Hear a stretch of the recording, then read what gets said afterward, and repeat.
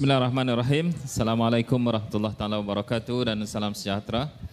Alhamdulillahirabbil alamin. Wassalatu wassalamu ala asyrafil anbiya wal mursalin wa ala alihi washabbihi ajmain. Selamat saudara pengacara moderator kita pada malam ini.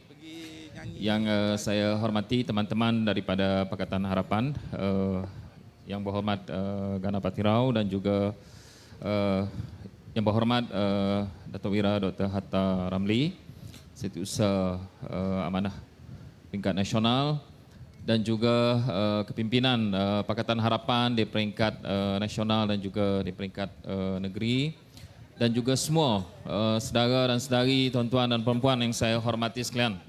Sempena dengan uh, program kita pada malam ini, Jelajah Harapan Selangor. Eh.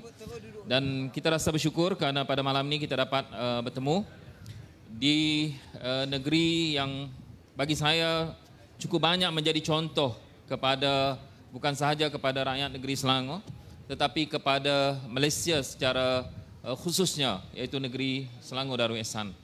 Jadi kalau kita lihat eh, memang tadi kita sudah mendengar banyak pandangan-pandangan tentang negeri, tentang negara kita. Dan sudah barang pasti ini adalah satu cabaran yang cukup besar bagi kita.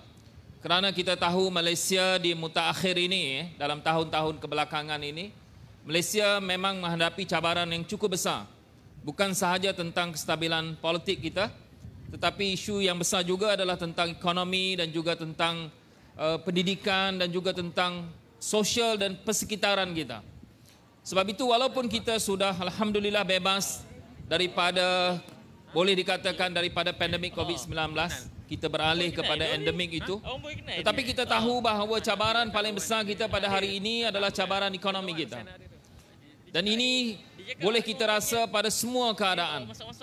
Tetapi teras paling penting dalam kita bernegara ini, teras yang paling penting adalah pentadbiran bagi kerajaan itu. Sebab itu setengah-setengah macam tadi disebut oleh setengah orang muda kita. Eh. Dia menyebut tentang setengah-setengah orang bercakap, dia kata saya sudah tidak suka dengan politik. Kita tidak mahu lagi, tidak percaya dengan politik. Tetapi selalu saya ulang, eh, kehidupan kita ini, apa sahaja yang berkaitan dengan diri kita adalah tindakan-tindakan yang dibuat oleh orang-orang politik. Apa sahaja yang berlaku pada diri kita, kehidupan seharian kita, semuanya ditentukan oleh orang politik. Kadang-kadang kita lupa bahawa makan minum kita ditentukan oleh orang politik. Kadang-kadang kalau saya fikir kalau harga harga ikan murah eh sehingga RM4 RM5 kita lebih banyak makan ikan daripada makan ayam. Eh? Kenapa kita banyak makan ayam? Sebab ayam adalah sumber makanan yang paling murah. Kadang-kadang sebahagian orang tak mampu nak beli daging. Contohnya kalau daging kambing, eh, memang tak mampu nak beli.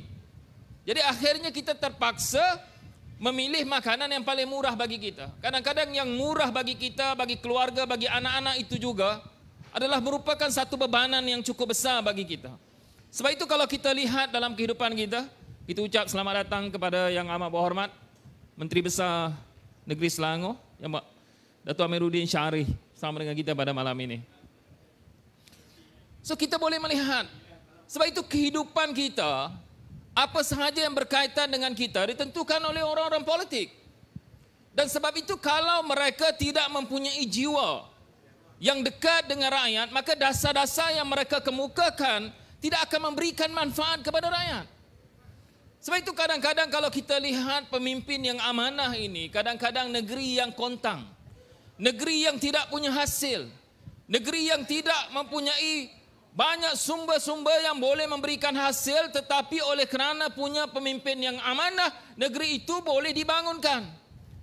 Akhirnya negeri itu daripada sebuah negeri kecil yang tidak punya upaya tapi boleh menjadi suatu yang besar. Kita ucap selamat datang kepada Yang Berhormat Datuk Seri Anwar Ibrahim. Presiden Parti Keadilan Rakyat Pengurusi Pakatan Harapan. Ah, dia duduk dia. Kita tahu Datuk Seri Anwar jiwanya dengan rakyat memang hampir eh. Jadi kita tidak ada kebimbangan dengan itu.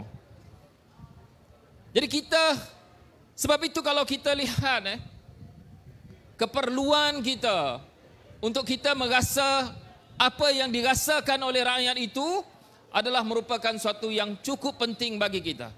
Sebab itu, bagi saya, dalam kedudukan kita memperjuangkan politik dalam negara kita, walaupun sebahagian rakyat rasa kecewa, tetapi kita di Pakatan Harapan itu kita tidak pernah punya rasa putus asa.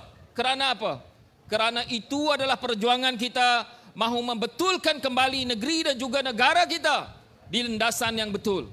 Dan saya cukup berkeyakinan bahawa Selangor boleh menjadi contoh tetapi dalam masa yang sama yang paling penting kerana kita tahu bagi menentukan kedudukan ekonomi kita, pendidikan kita, kedudukan politik kita, kita perlu kembali menggapai putrajaya itu.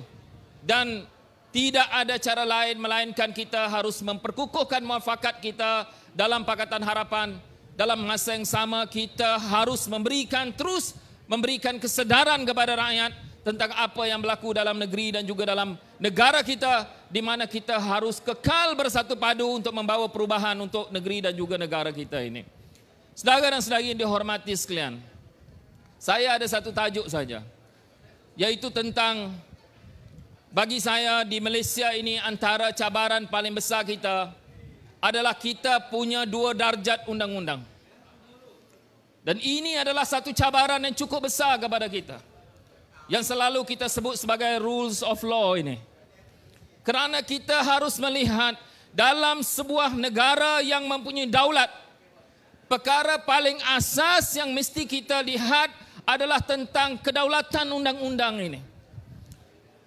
Sama ada pelabur ke, sama ada orang mahu datang dalam negara kita, sama ada kita mau pastikan bahawa kehidupan rakyat itu punya keadilan, dalam negara kita tak boleh ada undang-undang dua darjat. Kalau orang besar mencuri, maka dia bebas walaupun sudah dihukum. Tapi kalau orang kecil mencuri, mereka itu ditangkap, direman, digari dan cepat dihukum dan dipenjara. Kalau negara kita punya undang-undang seumpama ini, maka kita kalau kekal begini, kita akan ke belakang. Sebab itu ini mesti kita perbetulkan kembali. Di Malaysia kita takkan boleh benarkan undang-undang dua darjat ini. Kerana yang akan menjadi mangsa adalah kita rakyat. Sebab itu kita mesti kekal memperjuangkan itu. Dan bagi kita semua rakyat Malaysia mesti mempunyai kekuatan itu. Lakukan perubahan itu. Kalau tidak Malaysia akan kembali ke belakang sedangkan negara-negara jiran kita akan memotong kita dan akhirnya kita bukan menjadi negara maju tetapi kita akan kembali menjadi negara dunia ketiga. Sebab itu undang-undang ini mesti diletakkan. Sebab itu perjuangan kita dalam pilihan raya yang akan datang adalah perjuangan untuk meletakkan asas-asas keadilan kedaulatan negara ini pada dasar dan landasan yang betul. Kita bukan berbicara semata-mata soal kehidupan kita, tetapi kita membicarakan dalam pilihan raya yang akan datang adalah bagi kita menyelamatkan teras-teras asas rukun negara kita. Kalau kita punya undang-undang dua darjat, mereka yang sudah bersalah mereka boleh bebas tanpa rasa malu, tanpa rasa bimbang. Kita boleh bayangkan dalam negara ini kalau mereka yang membuat jenayah, mereka pun tidak ada rasa malu dan tidak ada rasa bimbang. Mereka yang membuat khianat kepada orang lain tak ada rasa malu, tak ada rasa bimbang. Apa jadi pada negara kita? Sebab itu saya yakin berkeyakinan bahawa rakyat dengan kesatuan kita di bawah kepimpinan Datuk Seri Anwar Ibrahim melalui Pakatan Harapan saya yakin muafakat ini kita harus kembali bina. Yakinkan kembali rakyat dalam negeri dan juga dalam negara kita bahawa kita boleh membebaskan negara kita daripada amalan-amalan kotor dan pemimpin-pemimpin yang rosak, yang rasuah, yang salah gunakan kuasa ini. Jangan kita ada rasa putus asa. Perjuangan kita bukan perjuangan sehari dua. Kita mesti memperkukuhkan kembali semangat kita, iltizam kita, keinginan kita untuk kita melakukan perubahan dalam negara kita ini.